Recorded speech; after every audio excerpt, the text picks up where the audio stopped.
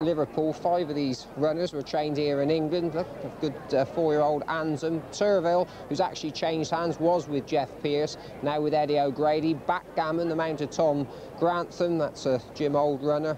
And then uh, Peter Hobbs riding for brother Philip on greenback, stomping the 13 to 8 favourite. Here's how he got on. It's Stompin in the lead.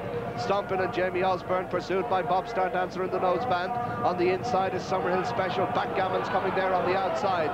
But it's Stompin from Backgammon, Summerhill Special and Bob Star Dancer. Racing to the final flight in the Murphy's Orange Stout champion four-year-old Hurdle Stompin from Backgammon. Here comes Shaihar with a big run on the outside. Stompin, but Shaihar coming to grab him as they jump the final flight. Shaihar on the near side, Stompin the far side. It's Shaihar and Stompin as they fight it out. And Shaihar's going on as they race up towards the line. Shaihar's going to win it for Mick O'Brien. Shaihar's the winner. Second is Stompin.